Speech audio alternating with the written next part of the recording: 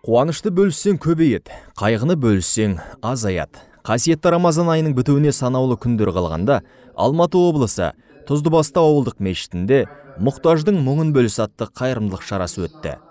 Барынша осы тұздыбастау ауылының тұрғындарына барынша игі іс жасауға қайырымдылық жасауға шамамыз келгенше қызмет жасап жатырмыз. Жағдайы төмен алпыс отбасыға міне көмектесіп жатырмыз. Оның ішінде 5 литрлік майымыз кәдімгі күнде тамаққа қолданатын. 5 килограмм күріш 5 килограмм қантымыз және шайымыз және тұзымыз. Осы бес түрлі тағаммен иншалла шамамыз келгенше алланың разылығы үшін көмектесіп жатырмыз.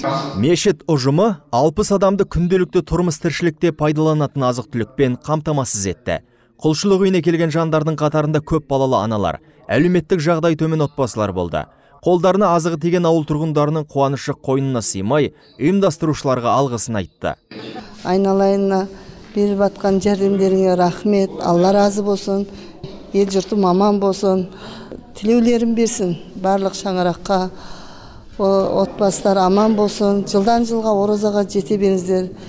Енді осы тұздыбастау жаңағы ұжымындағы бауырларымыз жаңа мұқтаж жандарға жылда көмектеседі.